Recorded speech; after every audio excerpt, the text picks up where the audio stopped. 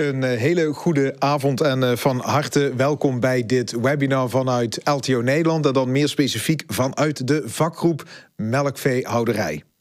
Tja, als er voor uh, dit jaar, voor 2023, een woord van het jaar gezocht zou worden... dat eigenlijk het hele landbouwdebat zo'n beetje kan duiden... dan zou dat het woord perspectief wel zijn. We hoeven nog maar even terug te denken aan het niet-landbouwakkoord. Het ging over perspectief, ja of nee.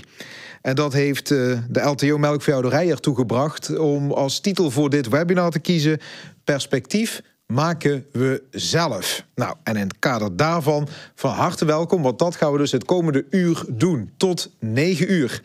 Een uurtje gaan we het hebben met verschillende collega's van u, met verschillende deskundigen, over wat er mogelijk is in de melkveehouderij. Over dat perspectief dat u zelf kunt maken. En natuurlijk gaan we er ook achter komen dat u de overheid of de markt of de keten nodig gaat hebben.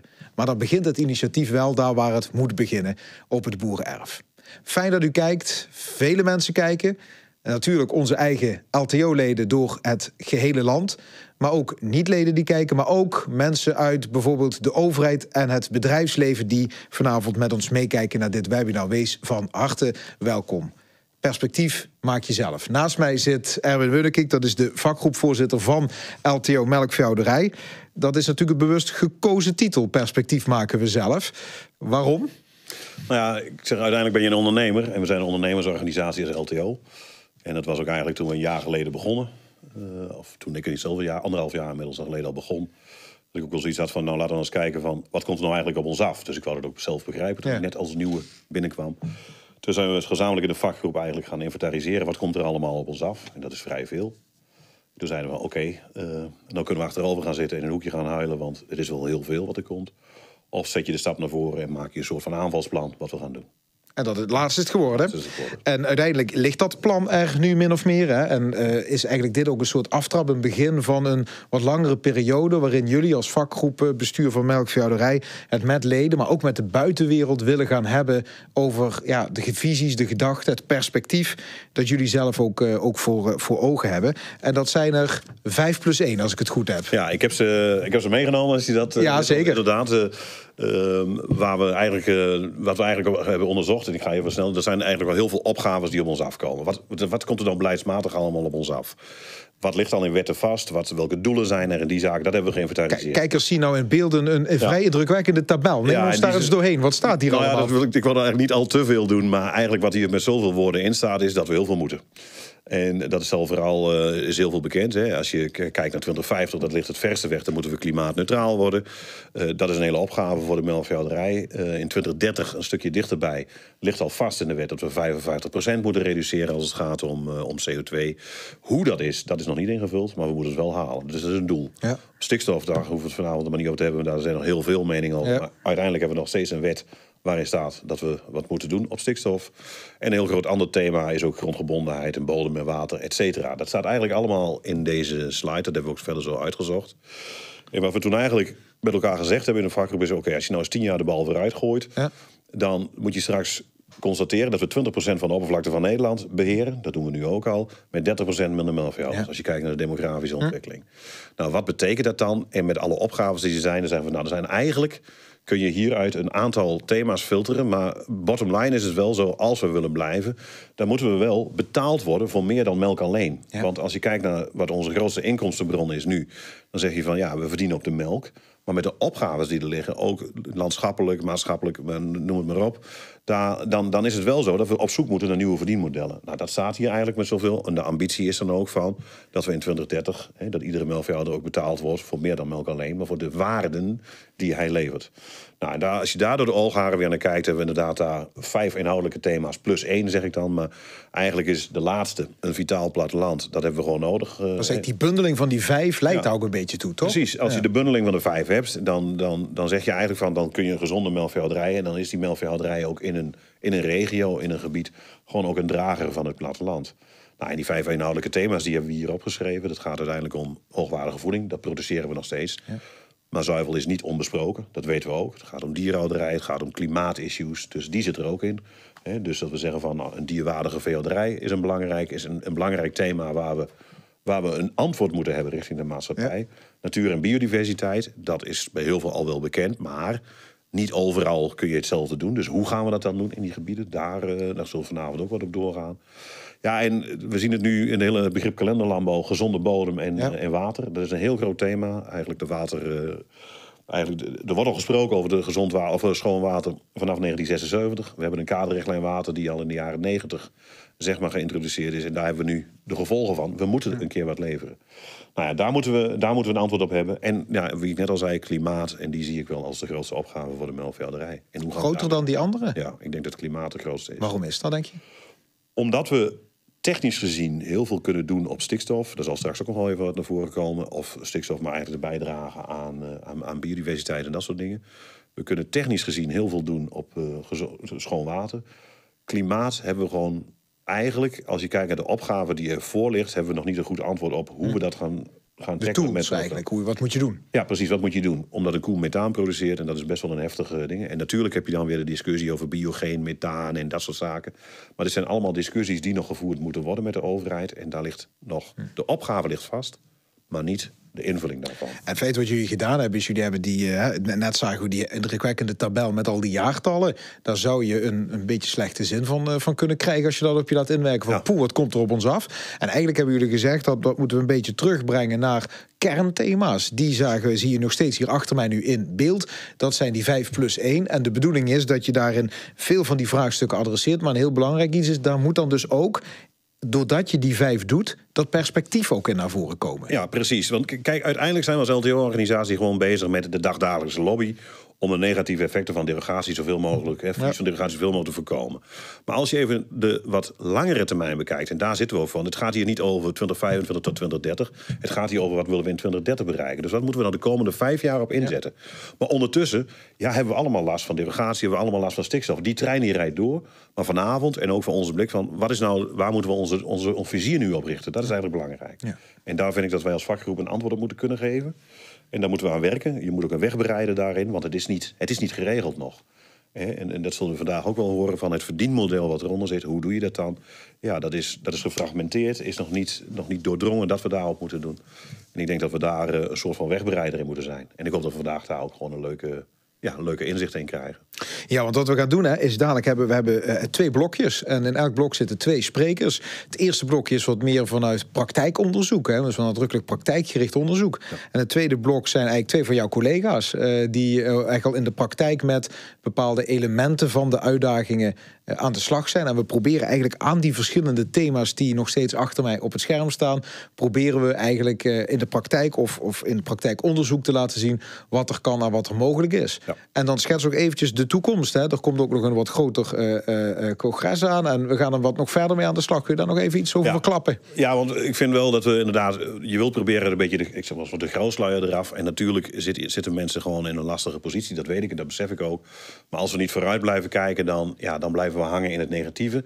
En dan krijgen we, en dat is mijn grootste punt wel... als we niet oppassen, dan krijgen we waar we bang voor zijn. Een generieke krimp Waarbij we gewoon gekort worden met het aantal koeien. Iedereen, eh, wat we eigenlijk al in, in 2016 met fosfaat gezien hebben, andere dingen.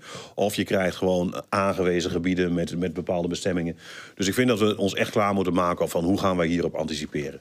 Nou, dat, dat heet perspectief maak je zelf, maar niet alleen. Dat zeg ik ook maar gelijk achteraan. Dus je zei het in je inleiding ook al, daar hebben we mensen voor nodig. Ik denk de mensen die vanavond uh, aan tafel zitten, wat echt wel ambassadeurs zijn daarvan, vind ik toen hebben we ook gezegd van oké, maar we willen hier ook een groter iets aan maken. 28 november in Gorkum hebben we daar een, eh, een congres uh, organiseren waar we eigenlijk hierop doorgaan.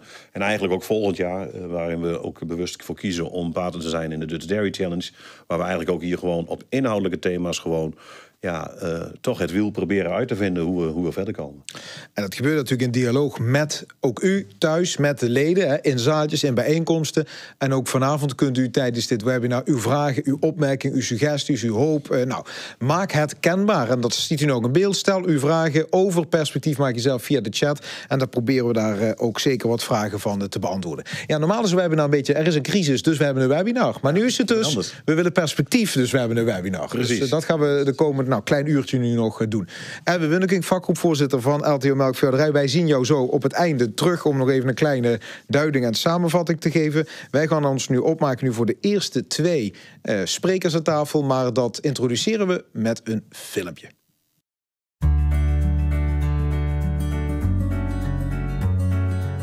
LTO Melkveehouderij wil naar een nieuwe waardering voor de sector. De oplossing hiervoor ligt in het ondernemerschap. Jan Woudstra uit het Friese Menaam is bezig om zijn melkveebedrijf regeneratief in te richten. Hij richt zich daarbij vooral op biodiversiteit en natuur. Een van de praktische waarden in die ambitie van LTO. Wij zijn als bedrijf heel erg op zoek naar de balans tussen de economie en ecologie. Ik probeer zoveel mogelijk van mijn land te halen, maar eigenlijk met zo weinig mogelijk input zoals kunstmest. Daarom maak ik zoveel mogelijk gebruik van vlinderbloemigen, maak ik gebruik van het composteringsproces van agri-recycling. Nou, dat alles doen we hier in het mooie Friesland. Een van de maatregelen die Woudstra neemt is het toevoegen van compost aan zijn bodem, oftewel agri-cycling.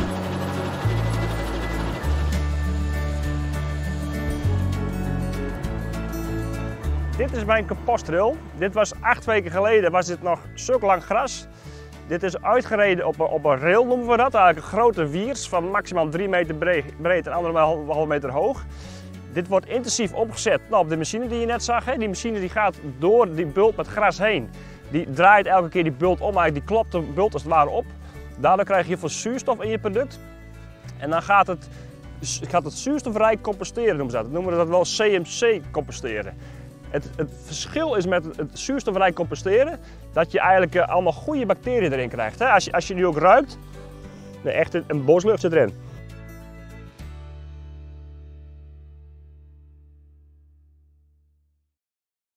Ja, ik vind het leuk om te zien. Uh, en naast mij zit uh, Jan, Jan Woudstra. Niet alleen Jan, naast hem zit ook Bert Philipsen. Bert, bij jou komen we zo. Maar we beginnen natuurlijk bij degene waar het filmpje ook, ook over ging. En, ja, en je hebt maar een deel van het filmpje meegetransporteerd naar hier. Ja, hè? ja. ja. Wat, wat hiernaast... net wat gesuggereerd werd, heel veel van die oplossingen, denk ik, kunnen wij een bijdrage leveren met, met onze coöperatie Agri-Recycling ik maak er wat bende van hoor. Ik ja, joh. je bent er nou toch, toch? Ja. Daarom, eigenlijk, het, het is fantastisch mooi om te zien dat je eigenlijk... Uh, nou, je zag het filmpje, zag je die machine. Hè, dat, ja. Door middel van zuurstof, uh, rijke compostering... eigenlijk maak je van dit lange gras... en eigenlijk, dit is al twee weken aan de gang, was het nog langer... Ja. maak je echt waardevolle compost. En eigenlijk is, is het heel simpel. Uh, ik heb ooit acht jaar geleden een bodemcursus gehad van een Jochems. Heel ingewikkeld krijg je allemaal te leren... wat er onder de bodem niet alleen NPK nodig is... maar dat er heel veel bodemleven zit, schimmels, netwerken... die eigenlijk heel belangrijk voor ons zijn. Ja. En als we die willen voeden, moet je goede compost maken. En de truc is de bacteriën. Je moet eigenlijk zorgen dat je zoveel mogelijk goede bacteriën in je bodem krijgt. En de meeste goede bacteriën leven in een zuurstofrijke omgeving. En daarom, als jij compost, als je gras op een bultje gooit, gaat het rotten. En dan is het na een jaar ook compost. Maar dan heb je eigenlijk de, dan stinkt het, heb je ammoniaklucht, dan heb je eigenlijk de slechte bacteriën erin. En als je het zuurstofrijk omzet, elke keer zorgt dat er lucht in blijft, dan krijg je eigenlijk een hele frisse, bosgrondruikende compost. Ja, dat eigenlijk is het gewoon humus. Is het. En, en, hier zit niet alleen stikstoffosfaat in, maar heel veel En ik laat het nu, de bult is nu klaar, mijn eerste bult. Die laat ik een beetje rijpen. Dat eigenlijk die bacteriën en die, en die protozoa's en al die eencellige beestjes zich nog lekker voortplanten.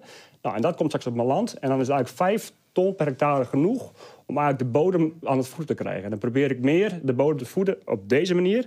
Want we gaan de derogatie gaan we missen. Hè. Daar kan ik een avond over, over vol praten. Hoe ja, erg het doe, is. Doe een andere avond. Niet. Ja, ja, doe een andere avond. Ja. Maar uh, uh, je moet altijd vooruit kijken. Dat werd net ook gezegd. Dus ik kijk vooruit. Hoe kun je het gat opvangen, het bemestingsgat? Nou, en niet met kunstmest. Want we kunnen wel steeds meer kunstmest en kunstmest gaan gooien. Maar je moet juist eens kijken van hoe kunnen we onze bodem verrijken. Nou, dit is één ding waar wij als agri-cycling mee bezig zijn. Wij gaan nu het lokale bermgras maken wij waardevolle humus van. En ik denk dat het een hele goede aanvulling is voor bodem, water. En, en hoe kom je daar dan op? Want ik kan me, hoe, wat je zei. Oh, ja, dat is niet. Uh, eigenlijk moet Pieter van der Valk bedenken. Die is zes jaar terug, is, die, is een melkveehouder in Verwoude. Die heeft het met de gemeente heeft hij dit bekeken. Want het is best nog wel een lastig uh, ding. Want oh, normaal gesproken, alle bermgras staat als afval te boek. De gemeente voert het ook af, afval, daar zet ze heel veel geld aan kwijt. Dus het was nog heel uh, getouwtrek eigenlijk juridisch van hoe mag het allemaal. Maar ja. het, het, het mag, want het wordt gedaan onder voortgezet gebruik alle bermen, mais wat bij mij ligt, komt uit de straal van 10 kilometer vandaan. En wordt gecertificeerd compost. En daarom mag het. En daarom is het geen afval, maar compost. Ik maak die compost zelf op mijn eigen erf. Dus ik voer het niet aan, ik voer geen mest aan. Het zit niet in mijn mestboekhouding. En uh, de kosten die ik maak om het te maken, die worden weer betaald door Agricycling. Agricycling krijgt uh, een bedrag van de gemeente, omdat wij dus nu ja. Uh, hun, ja, zorgen voor hun, hun kostenbesparing. En eigenlijk sluit je zo'n kringloop. En het mooie is, ik maak er wat filmpjes van en zo. En, en mensen uit, uit, de buurt die zien nu ook dat ik het doe. Dus, dus er komt ook een beetje meer begrip. Dus eigenlijk de berm die vroeger als afval werd gezien. Ja. hey, is oh, nou iets naar jou toe, die maken ja. er een kunstmestvervanger van. En dat vind ik het mooie. Want het is, de hele landbouw is niet alleen de transitie wordt op ons afgeschoven. Nee, het is eigenlijk voor onze hele maatschappij. Wij moeten anders omgaan met onze, onze, onze, onze eh, reststromen. Eigenlijk, als ik het nog een beetje verder wil, wil uitdragen. Hè, we zijn nu met 150 boeren doen we dit al. Als ik nou vijf jaar verder kijk, hoop ik dat straks nog veel meer boeren meedoen. Dat we te weinig gras hebben, dat we nog volgende middelen. Hè? Want we hebben ook uh, waterschappen die van alles uit de sloot hekkelen, wat nu nog af wordt gevoerd. We hebben zometeen misschien wel GFT, wat nu nog als afval is, omdat het niet schoon genoeg is. We je ziet allemaal kansen nog ik wel. zie allemaal kansen, want eigenlijk het is niet... Uh, uh, we hebben nu 50 jaar gebruiken we kunstmest. Ja, ik weet het maar een uur. Hè? Ik heb sorry tijd vol. Nee, maar je vult dat zo erbij niet uit. Hebben je genodigd. We, we, gebruiken al 50 jaar kunstmest. Hè? We maken eigenlijk van gas maken wij stikstofkunstmest. Ja, we willen alle bewoners zometeen van het gas afgaan. Dat ze allemaal van elektrische auto's gaan rijden, omdat we geen gas willen gebruiken. En dan gaan wij als veehouders gaan dan het gas gebruiken om stikstofkunstmest te En jij zegt dat kan dichterbij? Dat, kan, dat moeten we, daar moeten we, uiteindelijk moeten we er vanaf. En als wij nu niet zelf het gaan oppakken, dan zijn er zo meteen andere bedrijven die zeggen: hé, hey, wij maken groene kunstmest. Wij maken zo meteen uh, van, van, van, van, van rioolslip maken wij zuivere kunstmest. Maar, nou, maar dan kan ik me voorstellen, kijk, nou zijn er natuurlijk mensen thuis die aan het kijken zijn. Ja. En dan mag ik als presentator natuurlijk de vraag stellen die zij ook een stiekem ja, hebben. En ik kan me wel voorstellen dat een paar van jouw collega's zo denken: nou, die Jan uit Friesland, die is heel erg enthousiast en blij. En, en die heeft ja. daar nou dingen op tafel neergelegd en, en dat loopt allemaal leuk. Maar we zijn eigenlijk stiekem ook een beetje benieuwd wat nou niet zo makkelijk liep. Of waar je een beetje tegenaan loopt. Het zal toch niet alleen happy de peppy zijn, of wel? Want wat gaat er mis? Is mooi. Kijk, elke keer als je iets nieuws wil doen, dan heb je weerstand. Hè? Ik bedoel, de eerste keer dat meneer Rijten wilde gaan vliegen, was allemaal weerstand. En had hij niet doorgezet, hadden we nog steeds niet gevlogen. En we had misschien wel beter geweest.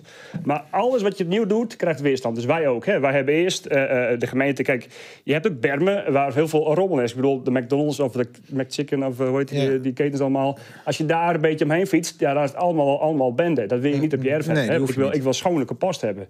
Dus de gemeente die draagt eraan bij, die gaat kijken welke bermen kunnen wel. En vooral in de plattelandsgemeenten zijn er heel veel bermen, hebben fietspaden. Kun je prima composteren, want het is hartstikke schoon gras.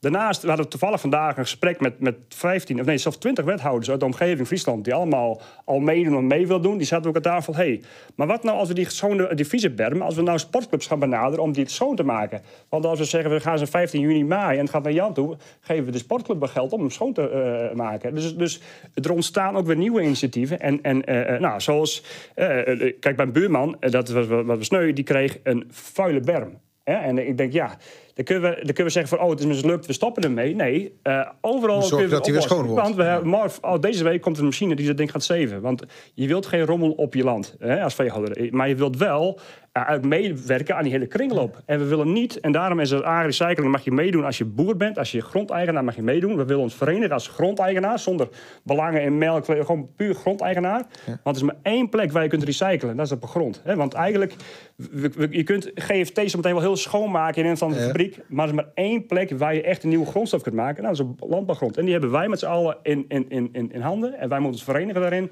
Dat we niet zo meteen worden uitgespeeld. Oh, jij betaalt iets meer voor mijn Nee. Of jij betaalt dat Precies. voor mijn kompost. En, en uh, verdient dat dan ook nog wat? Dit verdient, nou, ik, ik vind het eigenlijk, mijn bodem wordt hier zo meteen heel blij mee. En het verdient, het kost mij niks. Ja? En het bespaart mijn kunstmest.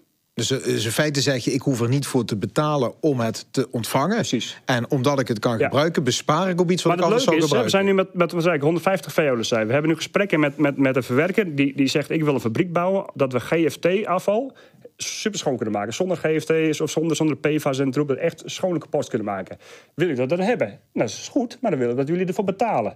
Dus, en als je, dat, als je je verenigt als boeren zijn... dan kun je, Kun je zeggen van, oké, prima. Ja. Jullie mogen best mooi kompost maken. En als jullie een beetje bijbetalen... wil ik het best op mijn land wil ik het weer een beetje recyclen. Want dat is natuurlijk...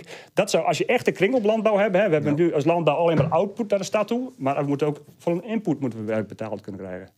En ja, want dit is dan het, ik zeg maar even het compostdeel van Ja. jouw, jouw bedrijf. Voordat we naar de andere spreker gaan, eh, heb je mij voordat eh, het webinar begon, hebben we natuurlijk ook Ja, even zitten kletsen. Ik heb ook, eh, Doe je kijk, nog wat, Ik heb ook nog een plant meegenomen. Kijk, een beetje voor... Ga je die ook op tafel zetten? zullen we die op tafel zetten? Ja, doe maar even, joh. Want er is meer, hè? Kijk, is kun- niet- kunnen we onze fotospreker is nou ook niet meer zichtbaar. Dus eh, Nee, dat is echt gekheid. Maar er is meer dan alleen kompost. Hè. Ja. Kompost vind ik een onderdeel. Eh, daarnaast is een onderdeel natuurlijk vlinderbloemen en steeds meer gebruik maken van, van dat soort eh, opties. En ik ben heel enthousiast geworden, dankzij mijn vrouw. Die heeft eigenlijk vier jaar geleden heeft ze een haag aangeplant.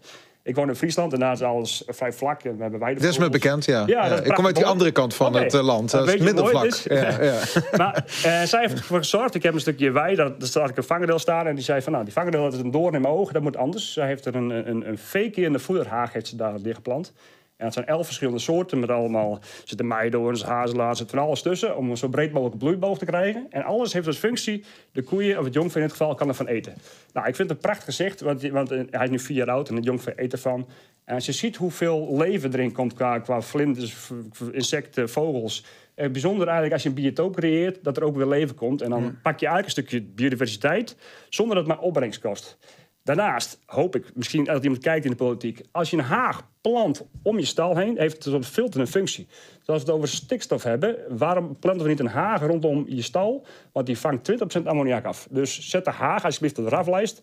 Niemand verdient er wat aan. Op de- ja. Dus maar goed, doe het wel. Want eigenlijk op die manier... maar We moeten kijken naar een slimme oplossing. Wij moeten niet kijken naar Nederland van, van wel alles afbraken en minder koeien. Nee, we moeten juist weer koploper worden in een beetje in kringloop, efficiënte landbouw. Maar dit doe je dan eigenlijk met je vrouw is ermee begonnen. En dan, ja, dan kun je moeilijk zeggen, we gaan het niet doen. Nou, dan moet je er toch aan meedoen. Zo, Ja, ja, zo werkt dat ja, ook bij jou dat. Thuis natuurlijk. Hè. Ja, nee, maar eh, qua- je zei ook van, ja, je doet dat eigenlijk meer voor, voor, voor, voor het, uitzicht, het verantwoordelijkheid Ja. nemen. Want het is qua verdienmodel als agroforestry Nee, geen, ik- geen ik- hobby ik in krijg Nederland, er geen, toch? geen cent meer van, absoluut. Maar het is wel...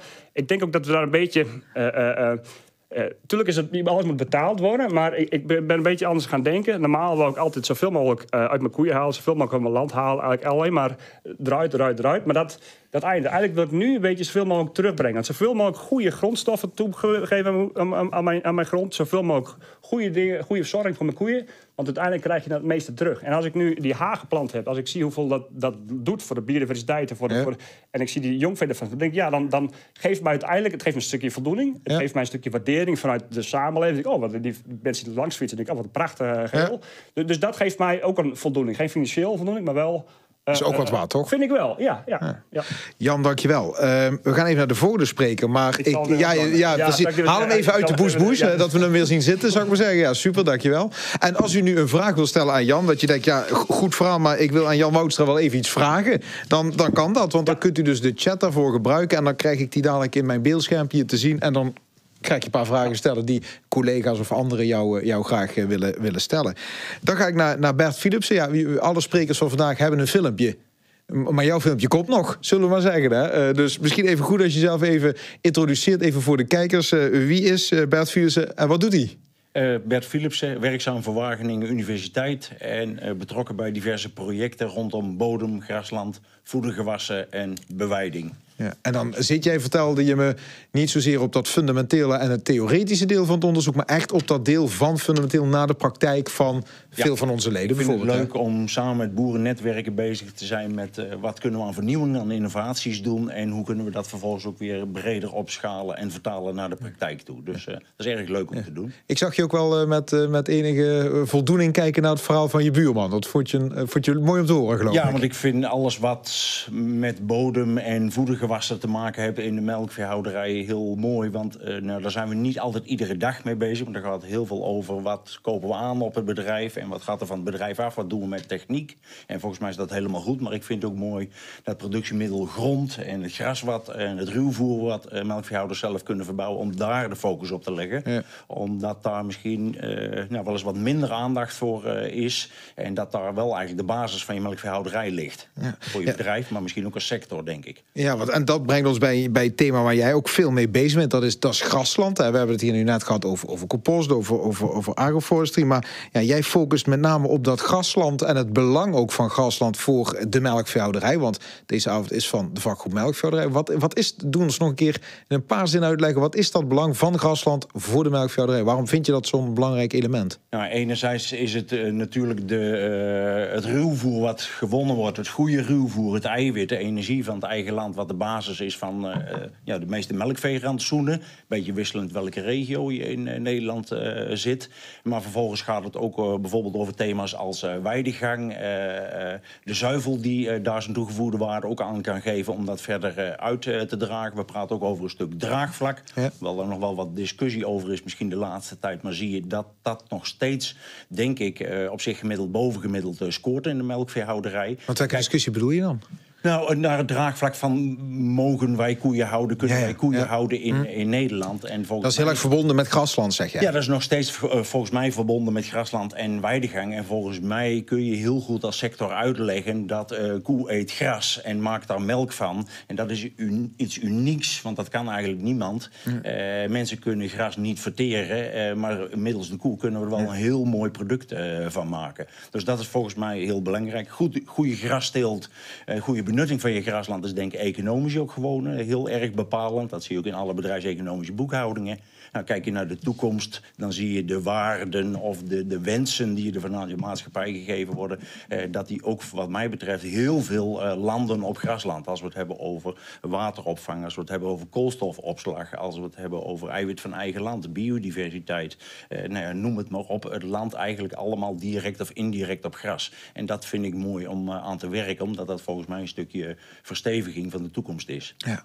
Nu ben ik in het eh, dagelijks leven algemeen directeur bij LTO. En dan kom je ook met name de avonturen nog wel eens in zaadjes bij boeren en zeker ook bij melkveehouders. En dan is toch een vraag die je vaak eh, eh, krijgt, ook over, als het over grasland gaat, natuurlijk de discussie die ook vanuit de overheid naar wordt gevoerd. Hoe- Tijdelijk grasland of het blijvend grasland? En dan is er, merk ik, voor het een altijd wat meer draagvlak als voor het ander. Hoe kijk jij naar die discussie vanuit de optiek van grasland?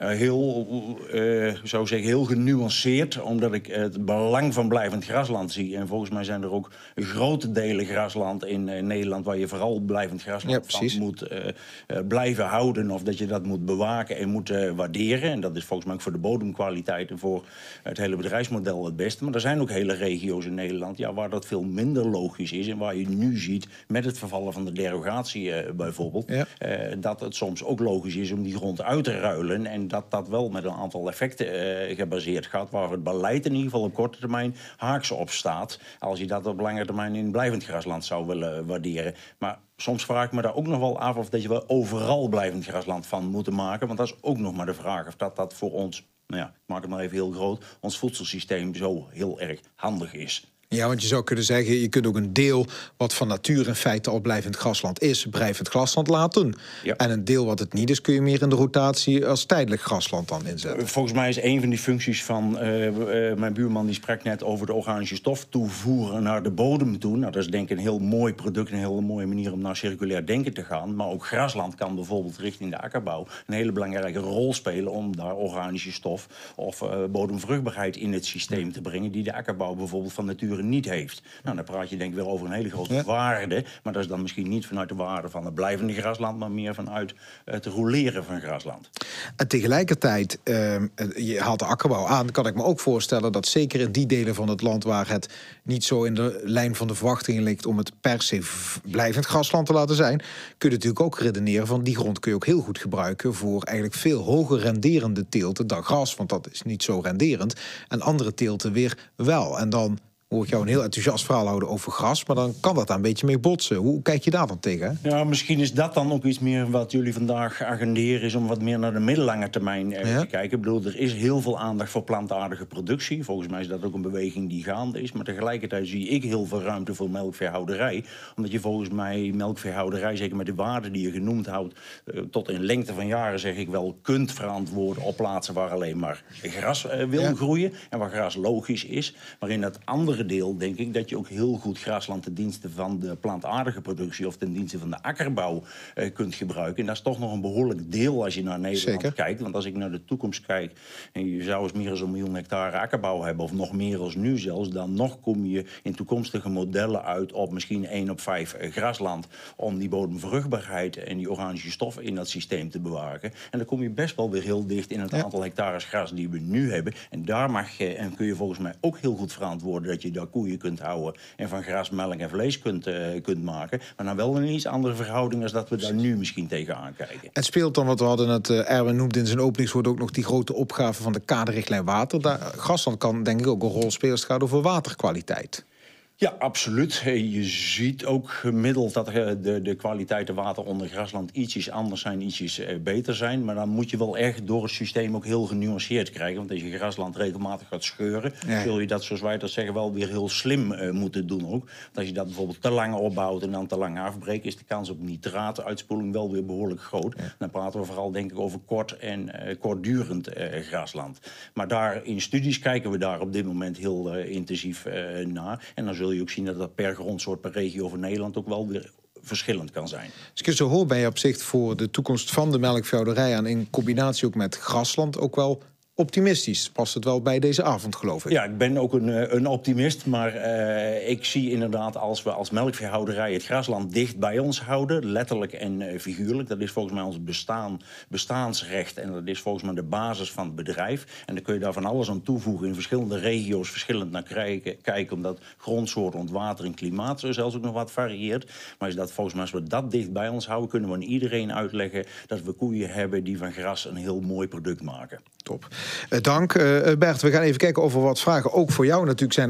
Naar aanleiding van het verhaal over grasland. Maar terwijl mensen hun vraag over grasland of anderszins voor, voor jou kunnen stellen via de chat... ga ik even naar enkele vragen die binnen zijn gekomen naar aanleiding van jouw verhaal. En een van de vragen die een collega van jou stelt is... hoe zit dat eigenlijk met onkruidzaden in het compost? Is dat een risico? Nee.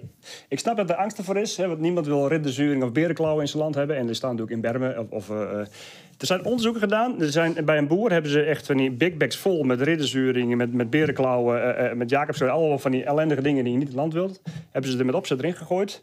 En die zijn allemaal kapot. En dat komt omdat met het proces wordt het minimaal drie tot vier weken wordt het eigenlijk tussen de 50 en 70 graden gehouden. Ja, ja. En dat wordt ook gemonitord. Als je als veehouder meedoet, dan moet je ook elke dag temperatuur, dat, dat gooi je in, in, in een app en dan wordt het bijgehouden. Als hij klaar is na acht weken, dan wordt er ook een monster genomen. Dan wordt er ook gekeken van, nou, zit er ook nog kiemkracht in? Hè? Zit er ook nog uh, vervuilende uh, PFAS-stoffen, weet ik wat ja. in de, En dan pas is het gecertificeerde compost. En dan pas mag, het, is het, mag je het uitstrooien. En tot die tijd is het eigenlijk van de gemeente. En stel nou, jij krijgt dat boer zijn gras en er blijken toch zware vervuilde metalen, metalen in zitten, dan wordt het weer teruggehaald, want het is nog van de gemeente totdat het gecertificeerd compost is. Dus dat is geen enkel risico. Dank. Kan de compost ook worden gebruikt als biologische meststof? Ja. Is een biologische meststof? Ja, want het eigenlijk het mooie is, kijk, ik, ik koop het compost niet aan. Ik maak het op mijn eigen, ik maak het uit mijn eigen erf. Dus als jij van je eigen gras compost wil maken, of als jij van dat, dat mag allemaal. Ja. Dankjewel. Dat waren twee vragen van jou. Uh, ook een paar vragen die binnenkwamen. Uh, eerste vraag is, hoe zie jij eiwitteelten, zoals soja en, en erwten... in vergelijking met grasland? Uh, ik denk dat je als melkveehouder, weer afhankelijk van waar je uh, zit, in welke regio, maar dat je vooral eerst het eiwit van je eigen land moet uh, proberen te halen. En wij zien in projecten, ik draai bijvoorbeeld ook een project Homemade Eiwit, dat dat eigenlijk wel echt ook de basis is van je bedrijf. En de alternatieve teelten, die komen wat mij betreft pas in tweede of derde instantie. Dus het gaat eerst benutten om dat eiwit van je eigen land, bijvoorbeeld middels weidegang of middels zomerstalvoedering, kun je dat eiwit heel goed direct benutten door te voorkomen dat je het eerst eerst en dat daarmee eh, bijvoorbeeld de DVE-waarde eh, daalt. Eh, dus ik ben een groot voorstander van, en ik zie dat ook in projecten, dat eigenlijk heel veel melkveehouders zelf wel bijna voldoende eiwit verbouwen op hun eigen bedrijf. En dat die aanvulling van buitenaf maar marginaal hoeft te zijn. Dus jij zegt dat ik zie dat beperkt, als ik het dan goed, uh, goed, ja. uh, goed Hoe kijk je aan de toevoeging van? Ik heb mijn een proefje gedaan met maïs en heb klembonen doorgezaaid om ook weer eigenlijk meer eiwit van eigen land en, en ook weer vlinderbloemen, dus minder stikstof. hoe kijk je daar tegenaan?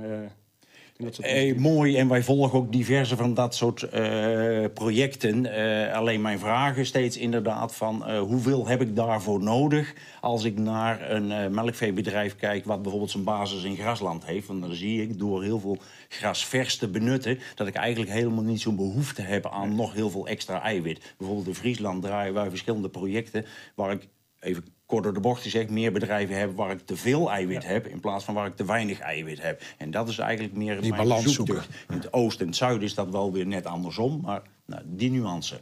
Helder. Laatste vraag uh, voor jou uh, is die, Bert. Uh, kan kruidenrijk grasland ook blijvend grasland, of is dat een variant daarvan? Hele goede vraag. Kunnen we ook een heel apart webinar over houden. Doen we morgen. Grasland, eh, als ik grasland bedoel, bedoel ik voor de lange termijn zeker uh, kruiderij grasland. Alleen moeten we daar wel de nuance maken. En ik denk dat de vragensteller dat ook bedoelt met productief kruiderij grasland. Dat we meer inzaaien en in cultuur brengen. Dat valt nog niet mee om dat langjarig erin te houden. We hebben pas ook nog weer een demonstratie gehad. Hoe kun je dat bijzaaien bijvoorbeeld? Want dat houdt het eigenlijk niet zo van nature. Als je meer naar het natuurlijk kruiderijk grasland gaat... Uh, wat bijvoorbeeld in weidevogelbeheer vaak gebruikt wordt... wat van nature ontstaat omdat het logisch is op die plek... dat is wel veel makkelijker om dat uh, jarenlang uh, te onderhouden. Maar dan maakt doelstelling heel erg een verschil. Super, dankjewel. Ik dank jullie wel. Jan Woudstra, melkveehouder uit Friesland, moet ik eigenlijk zeggen, toch? Ja, Friesland, dat, dat, mag ik, dat heb ik een keer gedaan. Daar ben ik enorm op afgestraft. Dus uh, Friesland. En uh, Bert Philipsen, die vanuit de uh, Wageningen Universiteit... aan verschillende projecten rondom gras en anderszins meewerkt. Dank jullie wel. wij gaan even naar een, een, collega, in ieder geval van jou, Jan... en een filmpje daarvan van, van Koen Haaghoort.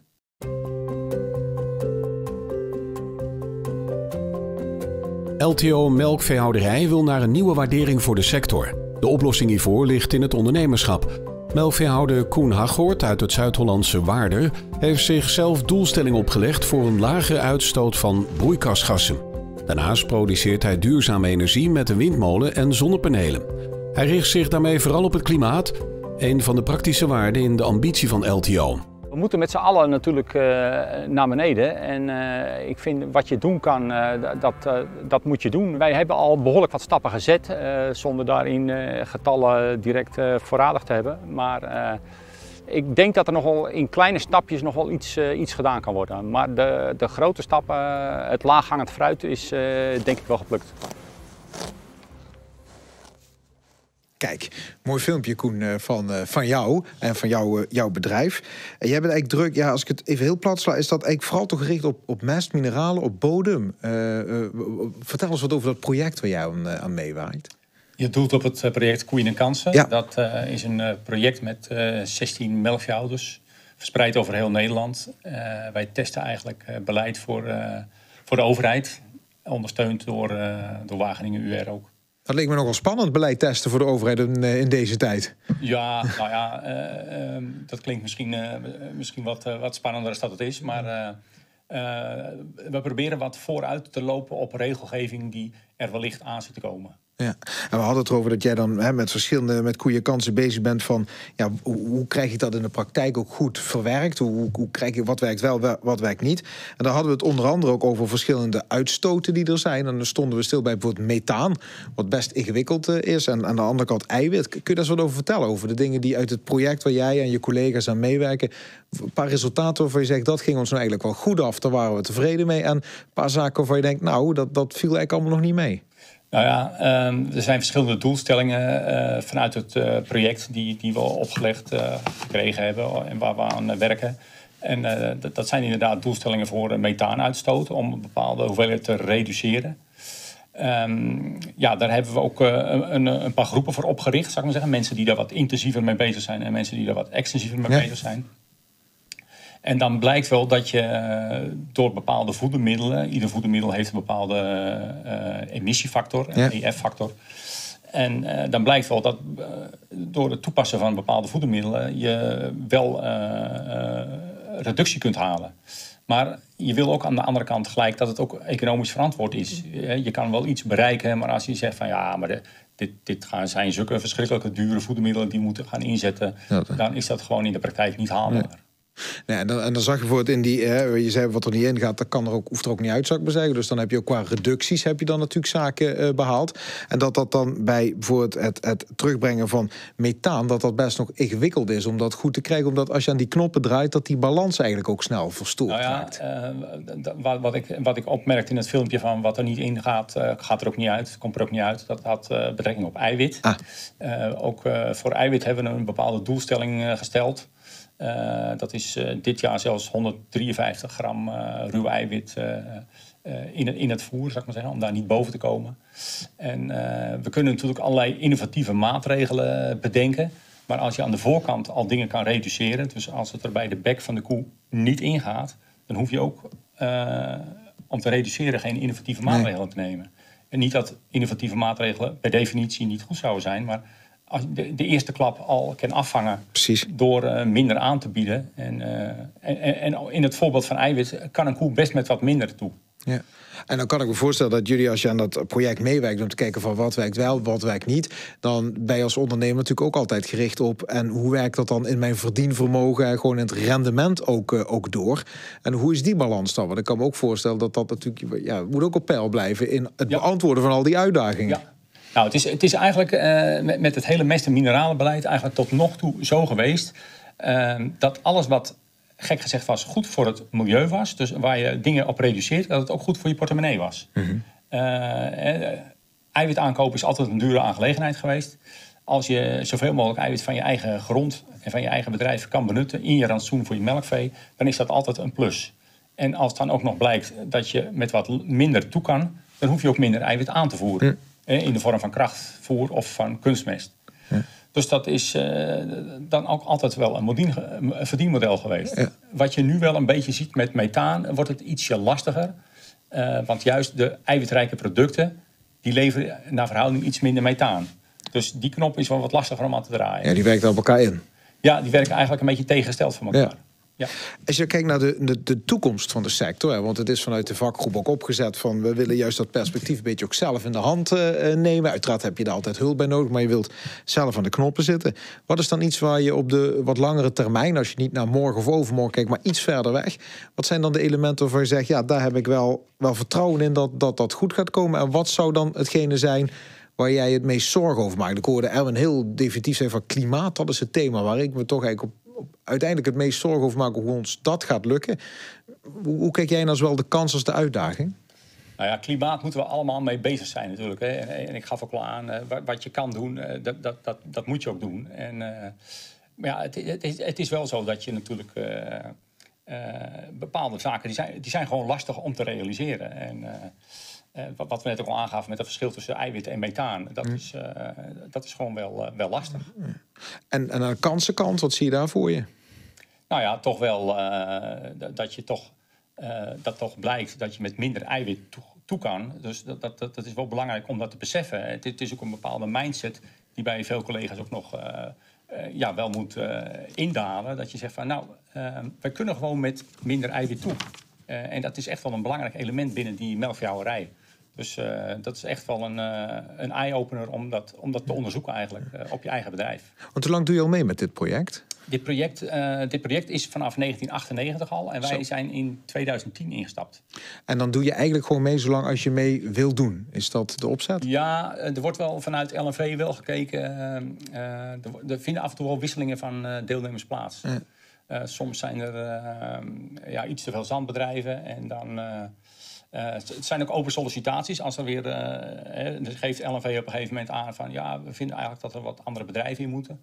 En dan kan je erop solliciteren. En destijds heb ik zelf ook gesolliciteerd, omdat ik zelf eigenlijk vond dat er te weinig veenbedrijven in zaten. Ah. En eh, ja, zo moet je wel een, eh, een, re- een reële afspiegeling van Ja, melkhoudend Nederland eh, moet er eh, Ja. nog steeds zijn. En vanuit jou dacht je met Veen wil ik gewoon wat meer aandacht voor krijgen. Dus het is goed als dat in dat project veel ook de aandacht krijgt die Nou dat nodig heeft. De, de, de verhouding veengrond in Nederland is natuurlijk ook minder als van klei en zand. Maar Ja. ik bedoel, de, er zat destijds maar één veenbedrijf in. En dat zijn er toen twee geworden. Dus. Helder. We gaan dadelijk ook even kijken of er voor jou ook nog wat vragen of, of opmerkingen binnen zijn van collega's die nu kijken en die misschien wel benieuwd zijn naar aanleiding van het filmpje wat je zojuist gezegd hebt. Dus die kunnen Koen zeker een vraag stellen. Daarvoor kunt u de chat de, gebruiken. Ehm, ehm, doe dat vooral ook even terwijl wij naar het filmpje gaan kijken van eh, onze laatste spreker van eh, vanavond, onze laatste gast, Suzanne.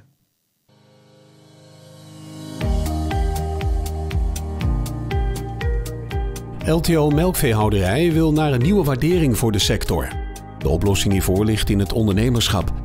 Het melkveebedrijf van Suzanne Rusink uit Aalten produceert als een van de 25 Nederlandse bedrijven Beter Leven 1 stermelk. Ze richt zich daarbij vooral op een dierwaardige houderij met gezonde en tevreden koeien. Een van de praktische waarden in de ambitie van LTO. Te leven is ongeveer 200 extra eisen waar we aan moeten voldoen. Ehm, je moet je voorstellen dat 80% daarvan eh, voldoet de gemiddelde melkveehouder voldoet eraan. Eh, die 20% dat zijn echt extra dingen. Mogen bijvoorbeeld geen overbezetting hebben, dus meer ruimte in de stal. Eh, extra waterpunten in de stal. ehm, meer ja, massageborstels. Ehm, en buiten houden we nog meer rekening met biodiversiteit, dus kruidenrijk grasland. Maar ook met vogelbeheer zijn we heel druk mee bezig. De ambitie is om, uh, om voer niet verder te halen dan 50 kilometer van je bedrijf. En, en dat geldt ook voor bijvoorbeeld stro. Ja, mooi. Uh, welkom. Uh, fijn dat je bent, uh, Suzanne. Ja, dankjewel. Nu, ja, ik zei het al eerder ook bij voorgesprekers. Het is leuk in mijn werk als directeur dat je natuurlijk met heel veel sectoren te maken hebt. Naast melkvee zijn dat er nog 17 andere. En in verschillende van die andere sectoren, zoals bijvoorbeeld varkenshouderij, pluimveehouderij, is dat een betere leven keurmerk en die sterrensystematiek eigenlijk heel breed ingedaald. En doen best veel ondernemers daar mee. En ik hoorde hier zeggen 25 bedrijven. Dat is ja. natuurlijk niet zoveel. Waarom is dat eigenlijk niet zoveel in de melkveehouderij nee, nog? Ja, we zijn eigenlijk gestart met een pilot. En de vraag kwam vanuit de supermarkt, uh, vanuit de keten, zeg maar. Dus er waren drie NGO's um, en een supermarkt. En die wilden graag beter leven zuivel in de markt zetten. Ja. Um, en zij wilden ook zelf het pak daarvoor ontwerpen en maken. Um, en dat moest binnen een hele korte tijd. Zo, ja. Dus uh, binnen no time waren de zeven gecertificeerd. Um, en hebben we ook met de hele keten eigenlijk om tafel gezeten. Bij ons thuis aan de keukentafel. Oh, het was ook echt bij jou thuis? Ja, ja, de pilot? Bij, ja, ja, ja, jouw tafel was de pilot. Ja, de tafel was de pilot. Um, en het voordeel daarvan vond ik... Was de eerste keer dat ik de inkoper van Jumbo in de ogen keek. Ah. En ik kom met hem in discussie waarom ik vond... dat wij extra geld nodig hebben voor beter leven. En hij had alleen maar belang om dat pak zo snel mogelijk in de schap te zetten. Dus doordat dus jij kon een deal belang, maken. Nou ja, zijn belang was groter dan ons belang. Ja. Uh, en dan is je in één keer je positie heel anders. Want ja, je noemt het Jumbo, die wilde dat graag dat met, dat, met, dat, met die pilot beginnen. Om met nu inmiddels 25 bedrijven, dus die pilot voor dat 1 ster beter leven keurmerk in de melkveehouderij, rundveehouderij, uh, te doen. Uh, nou zei jij even in dat filmpje, dan, dan, dan ga je de haar al een beetje overeind staan, denk ik. 200 eisen. Ja. Maar toen zei je al direct van nou 80 procent, daar voldoet uh, een, een beetje gemiddeld melk bij veebedrijf, voldoet daar misschien al gauw aan. Ja. Nou even wat ingaat, wat, wat vond jij van die 20 procent extra wat je moest doen? Wat vond jij daar nou een paar uh, pittige waarvan je dacht, poeh, dat valt nog niet mee? Nou ja, er zitten ook heel veel dingen bij uh, die zijn verder geschoven. Dus vanaf 2040 of bij uh, nieuwbouw, dan moet je uh, extra dingen gaan doen. Um, ja, pittig is natuurlijk wel de ruimte in de stal, die, die heb je of die heb je niet. En um, ja, je hebt bredere roosters of je hebt ze niet. En je ja. gaat niet je hele stal daarop aanpassen. Ja. Dus dat is best wel ingewikkelder. En uh, daarin hadden wij het geluk dat we dat eigenlijk voor een groot gedeelte al hadden. Dus het is een beetje waar kom je vandaan en hoeveel investering moet je doen om, uh, om te komen tot die 200 eisen. En dat is voor ieder weer anders af te wegen. Ja. Um, en voor, ja, wij hadden dan het geluk dat we al redelijk op weg waren. Um, dus dan was het iets eenvoudiger, zeg maar. Ja, dus uiteindelijk zeg je, kon ik redelijk snel inspelen op die eisen. Want dan, ja, zeker dierwaardigheid, dat, dat is best op dit moment ook een, een, ja. een, een hot topic. Hè. We zijn ook bezig uh, met dat convenant dierwaardige veehouderij. Omdat er een amendement in de wet zit dat je, hè, wat een beetje onduidelijk is wat daar nou precies onder verstaan wordt je hebt verschillende collega's of, of anderen gehoord spreken over wat zij aan het uh, doen zijn. Ja. Um, jij adresseert dan met name het onderdeel uh, dierenwelzijn, uh, dierwaardigheid. is dat ook iets waarvan je zegt, ik ben ook wel blij dat ik dat thema te pakken heb, want dat spreekt me ook het, past het beste bij me? Um, nou ja, weet je wat mij eigenlijk het meeste aansprak, was dat een supermarkt moeite doet om een nieuw pak melk in het schap te krijgen. En als hij daar moeite voor doet, dan stopt hij daar geld in. Um, en heeft hij ook geld over om daar een product in te krijgen. En melk is natuurlijk overal wit, dus hij zal daar extra eisen aan stellen. Um, en dan is het een beetje kijken, vond ik, oké, wat voor eisen zijn dat dan? En in dit geval was het heel veel op dierenwelzijn. Um, toen zijn we daarmee begonnen en ja, ik moet je heel eerlijk zeggen, in het begin dacht ik, ja, uh, extra borstels bij die kalfjes in de hokken en uh, allemaal extra waterpunten. En ja, is dat per Moet dit allemaal? Ja. ja, moet dat allemaal. Ja. Uh, maar ze hebben het en ze gebruiken het. En de kalven zijn ja, ook beter geworden. ze zien er mooier uit. Um, dus uiteindelijk, um, doordat ik meer ben gaan doen, denk ik nu ja, eigenlijk een uh, aantal dingen zijn nog helemaal niet zo verkeerd. Nee. Uh, en ik krijg er nu ook nog wat extra voor. Ja, wat jij zei, met name als een echt ondernemer zeg je ook vooral van wat ik er aantrekkelijk aan vond. Dus ik zag die man voor me van de supermarkt en ik kon gewoon, uh, hij moest wat hebben, ik kon wat leveren en dan kom je ook op een gedeelde ja, grond uit. Ja, en dat is natuurlijk iets wat we niet gewend zijn. Sowieso volgens mij in de hele, in de hele landbouw. Heel veel wordt voor ons bepaald. En nu ben je de eerste schakel en iemand anders had een iets groter belang dan dat jij had. Dus in één keer kon er ook wat. En konden zij ook schuiven en wilden zij dat ook. Ja. En ja, daarnaast ontvangen wij heel veel um, ja, consumenten bij ons op het bedrijf. En die vragen die zij stellen, Ehm, als je het hebt over dierwaardige veehouderij, die, ja, die zie je daar ook weer in terugkomen. En soms dan denk je, ja, jongen, wat een onzinvraag. Uh, maar als je het gaat omdraaien en denk je, ja, hoezo vraag je dat? En dan vraag je terug. En dan soms is het uit onwetendheid, soms vinden Ja. ze echt iets zielig. Nou, dat mag. Eh, maar ze consumeren vaak wel zuivel en ook vlees.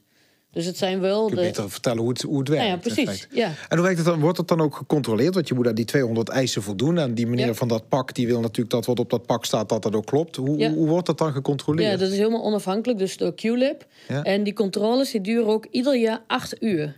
Acht, een hele dag. Dus Ja, dus al die 200 vragen, nou, daar kunnen ze nog best wel wat aan sleutelen. Ja. Ieder jaar beginnen ze weer bij vraag 1. Oh, dat is origineel. Nou ja, en, en dat is bijvoorbeeld, eh, wat voor opleiding heb je gedaan? Ik zei, ja, die is niks anders dan vorig jaar. Nee. En dan vraag 2. dus eh, je kan je voorstellen dat eh, na een paar uur, ja, daar heb ik er al wel genoeg van. Ja, dat kan. Eh, maar die man doet gewoon zijn werk en dat is goed. Ehm, dus daar kan nog best wel het een en ander aan gesleuteld worden. Want het is best wel veel op ehm, eh, ja, wantrouwen nog, vind ik. Terwijl je als eh eh ketenpartners juist volgens mij ook moet uit... eigenlijk, hè? Ja, vind Ja. ik wel. Als je partner bent, moet je ook vertrouwen in elkaar hebben. En dat kan nog veel meer versterkt worden. Helder. Eh, ook voor jou de mogelijkheid, collega's, om vragen te stellen aan Suzanne... naar aanleiding van het filmpje en wat je nu ver- verteld hebt. Bij Koen zijn er in ieder geval al een paar vragen binnengekomen... die ik, die ik graag wil, wil stellen. Een collega die stuurt... het zomaar zakken in eiwit in rantsoen vind ik best lastig. Welke tips heb jij om daar mee te starten? Nou, in ieder geval niet in één klap eh, een heel stuk naar beneden gaan, maar in hele kleine stapjes eh, proberen toch eh, met een, bijvoorbeeld het eiwit wat je aan moet voeren, da- daar maak je de eerste klap mee, om dat wat te reduceren. Wordt, in de melkveehouderij wordt veel soja gebruikt. En ik ben ervan overtuigd dat je daar, ik wil niet zeggen, het ligt eraan als je een heel maïsrijk rantsoen hebt, dan zal je wat toe moeten voegen. Maar dat je in kleine stapjes kan je naar minderen. Maar je kan niet in één keer eh, 25 gram eh, naar beneden. En waar- waarom is dat dat belang dat je dat in stapjes doet? Waarom benadruk je Nou, dat? die koe de tijd krijgt om eh, aan dat nieuwe rantsoen te wennen. Ja, dat, dat er geleidelijk als het ware... in Leidelijk, aan. een koe houdt sowieso niet van eh, extreme rantsoenwijzigingen. Nee. En, eh, en dat geldt ook voor eiwit. eh, in kleine stapjes iets naar beneden brengen. De tweede vraag die daar heb, eh, naar voren kwam is... eh, heeft dat sturen op dat eiwit, eh, wat je dan in stapjes doet... heeft dat dan ook invloed gehad op de melkproductie? En zo ja, hoeveel en hoe ben je daarmee omgegaan? Nou, in ons geval heeft dat niet zozeer ehm, eh, geleid tot eh, een daling van de melkproductie. Ook niet tot een stijging. Maar ehm, ja, je hebt een bepaald bedrijf, je hebt een bepaalde setting van je bedrijf. eh, en, je, je voert een bepaald beleid. En dan is, ja, in mijn geval, is de melkproductie dan de uitkomst. Als je heel erg productiegedreven bent, dan is dit misschien een iets lastiger verhaal. Maar uiteindelijk vind ik dat de, de onderkant eh, eh, van de streep, dus eh, het bedrag wat uiteindelijk overschiet, dat dat eigenlijk wel je trigger moet zijn. Dat je daar, ja, dat je, je inkomen in ieder geval op peil blijft. Ja. Dus jij zegt voor mij, toen ik daar, heeft dat geen enorme schommeling of, of, eh, Nee. of anderszins Nee, teweeg eh, eigenlijk gebracht? Eh, Suzanne, een paar eh, vragen voor jou uit. Eh, is het eh, leveren van zuiver met beter leven één ster ook mogelijk voor intensievere bedrijven? Vraag denk ik van iemand die een wat intensiever bedrijf heeft. Ehm, Nee, je moet wel, ehm, moet ik even denken hoor, 80% eh sowieso grasland hebben. Ehm, je mag bijvoorbeeld, eh, we mogen geen grond meer uitruilen met een aardappelboer of een bloembollenteler. Ehm, dus er zitten best wel wat eisen aan en je mag geen overbezetting hebben in je stal. Ehm, ja, dus ja, wat, wat, het, is- het is eh, best wel ingewikkeld. Ja. Het is eigenlijk wel, ja, hoe extensiever, hoe makkelijker. Ja. En, en in het kader daarvan is de tweede vraag, ligt dat best wel tegenaan. Is dan die betere betaling die jij eh, krijgt, is die dan ook voldoende om die extra kosten en die beperkingen die jij aanvaardt, dat je dus niet meer kunt uitruilen met bepaalde eh, andere collega's.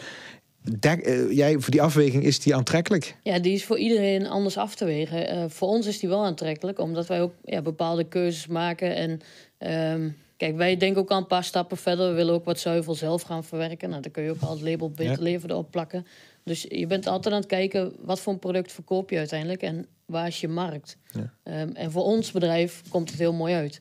Maar ik kan me voorstellen dat voor een heel aantal bedrijven dat, eh, dat niet kan. En die prijs, ja, toch stiekem een derde vraag voor jou. Hoe wordt die prijs dan bepaald van zo'n één eh, beter levensster? Ja, er is eh, een onderzoek gedaan door Wageningen. Die hebben dus al die, eh, die punten op, eh, op een hoop gegooid en daar gekeken wat voor een gemiddelde komt eruit en wat voor een plus moet dat zijn. Ehm, en die plus is nu voor een aantal jaar vastgezet. Maar ik vind eigenlijk dat die geïndexeerd moet worden. Dus eigenlijk hebben ze onderzocht wat wat is de extra inspanning? Die wordt nu in een vaste kosten vergoed, Ja. niet geïndexeerd. En het is dan aan de verwerker die dit product aanbiedt... om die kosten dan ook maar uit de markt te halen... zoals jij het hem dan levert. Ja. Zo is de afspraak. Ja, maar het mooiste, kijk, en dat zie je bij bijvoorbeeld intensief, eh, eh, dat is volgens mij gebeurd.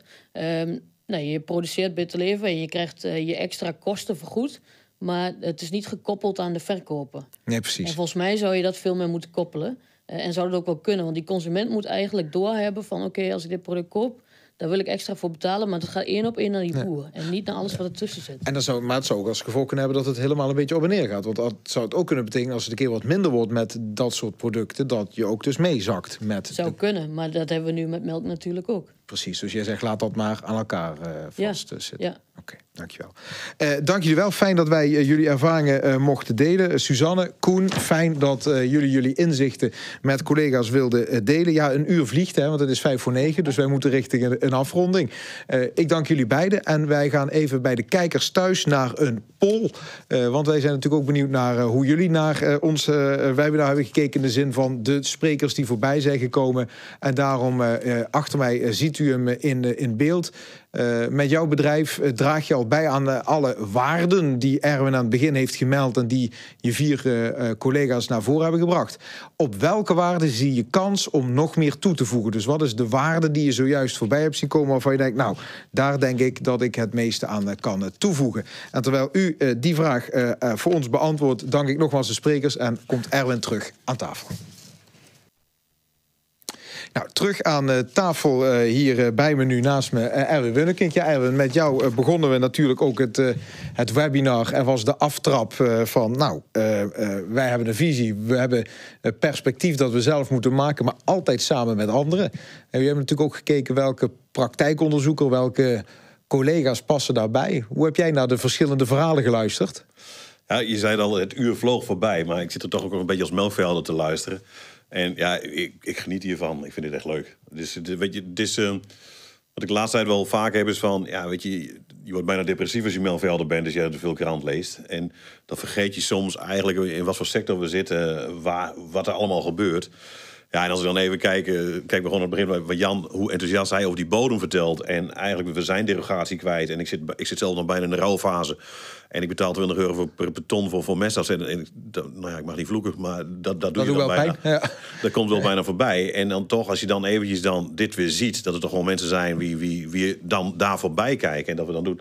Ik zit wel na te denken, oké, en hoe ga ik dat dan doen op mijn bedrijf? En moet je dat dan in de regio doen? En zo denk je dan als melkvelder. Vanuit de vakgroep eh, natuurlijk wel denk je hierover na van... oké, het zit echt in die gebiedsgerichte aanpak. Dat hebben we ook opgeschreven. Daar moet ook de ruimte komen, dus de individuele ondernemer. Maar dit moet je echt op gebiedsniveau aanpakken. Ja, Bert, ehm, ik denk, ik word gewoon altijd eh, ja, wel geïnspireerd door het feit van... Nou, ik ken Bert al wat langer dan vandaag, maar ook hoe hij, hoe gepas, gepassioneerd... maar ook hoe afgewogen hij kijkt naar, naar grasland. En dan hoop ik ook dat er veel beleidsmakers ook geluisterd hebben. hè. En daar zit voor ons als LTO denk ik ook eh, het belang in. Eh, vooral ook, waar kun je wat doen? Hè? En ik denk dat wij daar in onze beleidsvraag heel veel, heel veel eh, ook die nuance moeten proberen te brengen. En dat is heel moeilijk om daar generieke beleid op te doen. Je gaf net al aan een landbouwakkoord, die onderhandelingen daarin. da- daar zag je ook dat dat bijna, ja, dat was ook eigenlijk daar, daar ze kwamen in, in passen. Maar Bert benadert hem heel praktisch. En ik denk dat de oproep is aan melkveehouders ook van... het is toch ja, bijna je goedkoopste eh, productiemiddel als je het goed doet. Hè. En dat, dat haakt natuurlijk weer heel goed aan op wat Koen zei... van die lage input, dat noemde Jan ook. Waarde zit ook natuurlijk in, in kosten vermijden. En dat, ja, ik ben 53 jaar... eh, toen ik van school kwam, of toen wij eind jaren 90, weet ik nog dat we, eh, alle, als je dan bij elkaar kwam, toen allemaal kinderen krijgen door de kraamvisite kwam, was het eerste woord wat je je zoontje leerde, was dan de grap, dat was papa quotum kopen. Hé, dat was, zo werd je opgevoed. En het liefst, eh, bij wijze van spreken, eh, vier dagen bij huis, uit, uh, buiten huis werken, summerfeeding toepassen en knallen met die hap. Ehm, mijn eigen zoon, eh, inmiddels 25, ik weet dat hij, eh, was, eh, even kijken, dat is al ergens rond, moet ik altijd even goed nadenken, maar ergens in 2010, 12 die tijd zijn geweest. Toen ging hij naar een landbouwschool en die hadden niet eens bodemkunde meer in hun, in hun pakket. Dus ik denk ook, het vakmanschap is er ook wat ja, als ik even, nou, misschien moet ik dan bij mezelf houden, is, het, is er wel wat uitgemanaged. En wat ik hier zie, daar komt dat terug. En dat is bij. En dan, dan kijk ik vooral dan ook naar welke randvoorwaarden hebben we nodig. Nou, er zijn, je, moet ook, je moet best veel dingen overwinnen. En dan vind ik het inspirerend wat Suzanne weer doet. En daar zitten we middenin in die discussie over dierwaardige veehouderij. Dat we, en of, dan moeten we wat voorbij het beter leiden van één sterren kijken. Want dat hoor je ook wel heel duidelijk. Dat dat niet voor iedereen weggelegd is. Maar ik vind wel het mooie wat Suzanne ook zegt. Van, ja, kijk er eens met een andere bril naar. Zij hebben iets wat wij kunnen leveren. Ehm, en ook van, hey, dat hoorde ik haar ook zeggen, er zitten ook dingen in die, die dus gewoon op ons bedrijf verbeteringen aanpassen. Aan, aan, eh, passen. nou, als LTO denk ik eventjes, ik moet toch eens een keer met Suzanne op de koffie, want dat helpt ons misschien dat die Precies. waardige veehouderijconvenant, kunnen we daar nog wat van leren, wat we kunnen inbrengen. Maar als boer denk ik wel van, nou ja, weet je, wat, wat, hoe kunnen we daar ook eh, extra dingen op doen. Dus ik vond het voor mijzelf erg inspirerend. Dankjewel. We hadden de poll, eh, die hebben de, de, de kijkers eh, gevraagd van waar denk jij dat jij met jouw bedrijf aan welke waarde kun jij het beste eh, deelnemen? We hebben gezonde voeding. We hebben natuur en biodiversiteit, bodem en water, klimaat en dierenwelzijn en diergezondheid. Dat waren die vijf waarden waar de mensen op konden stemmen. En degene met de meeste stemmen had ook 53% van de stemmen. En ik kreeg stevige stemmen, dat is bodem en water. Daar zien de mensen toch de meeste kansen om daar nog waarde toe te voegen. Heel dicht daarbij ligt overigens ook natuur en biodiversiteit. Die liggen voor mensen toch, toch dicht bij elkaar. Verras je dat, dat die twee er het stevigst uitspringen? Ja, bodem en water verrast me. Eigenlijk wel, omdat we daar ook best grote uitdagingen hebben. Ehm, ik had verwacht eh, inderdaad natuur en biodiversiteit. En ook, eh, ik denk ook het verhaal van, eh, van Koen over, over toch die lagere inputs. Waarbij je zegt van nou, we kunnen daarmee met eiwit eh, en dat soort dingen toch op het... Nou ja, eh, dan, dan raak je wat meer aan het biodiversiteit misschien. eh en natuurstukje. Maar bodem en water, die verrast me in dat opzicht wel. Ik ben er wel blij mee, want daar ligt ook onze grootste grote uitdaging, Groot- dus dat ligt een grote uitdaging. Dus. En wat minder, wat mensen toch lastiger vinden om te adresseren... is voor dierenwelzijn, hè, diergezondheid. Het, het laatste vraag van Suzanne. Dat, dat, kun je dat beter plaatsen? Ja, want die herken ik dus ook nu in het convenant die waardige veehouderijdiscussie. Eh daar zullen we de komende maanden wellicht nog wat meer over horen. Maar daar zit een bepaald wensdenken in. Eh, die, en eigenlijk wat Suzanne al aangaf, van weet je, je hebt het voor elkaar, maar ook daar komen de, discussies over hoeveel ruimte moet je die dieren geven en kun je dat wel of niet doen. Ja, dat is wel een bepaald vertrekpunt. Hè? Dus daar kunnen we op onderdelen allemaal denk ik wat in doen. Maar eh, om dat zo op het gemiddelde bedrijf zomaar eventjes anders te doen, dat, is best lastig. Pittige, pittige. Waarbij ik wel heel belangrijk vind hierin is van dat we dus ook absoluut na moeten denken. En dat is ook een beetje een van het verhaal wat Suzanne wel heeft. Wat is nou die stal van de toekomst? Hè? Hoe is het bedrijf? waar moeten wij nou ook bij nieuwbouw op anticiperen? En daar moet echt duidelijkheid op komen. Eh, ja, het, eh, het zou een uurtje duren en dat heeft het ook geduurd. Eh, dank jullie wel allemaal voor het kijken naar dit webinar van LTO, de vakgroep Melkveehouderij. Perspectief maken we zelf, maar je hebt elkaar wel nodig. Het moet een beetje samen. We hebben dat aan de hand van verschillende sprekers mogen doen, die we nogmaals natuurlijk zeer van harte danken. Ook jou en je vakgroep en allen daarachter, dank voor dit, voor dit webinar. Het is de aftrap in feite van de waarden waar jullie mee onderweg gaan, met de stappen die jullie willen eh, zetten. Volg dan ook de website van eh, LTO en andere social media's die we hebben, om in de gaten te houden wat we nog verder rondom deze thema's voor, eh, in dit geval de melkveehouderij, oppakken.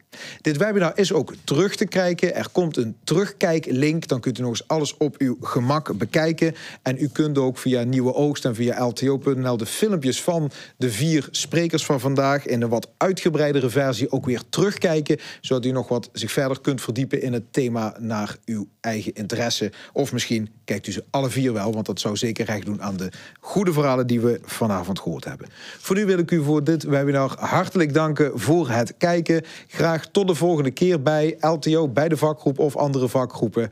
En graag tot dan. Fijne avond, tot ziens.